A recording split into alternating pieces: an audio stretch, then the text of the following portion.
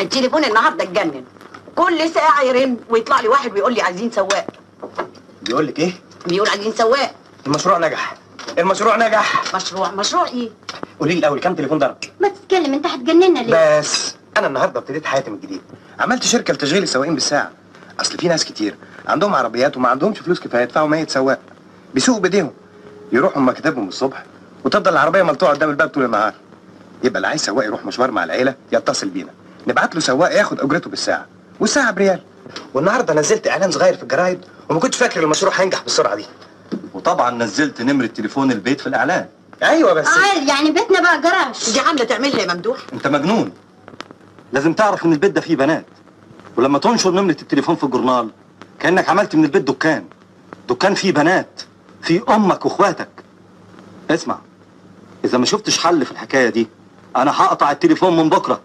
تبقى تعمل مشاريعك بره البيت وتبقى تخلي عندك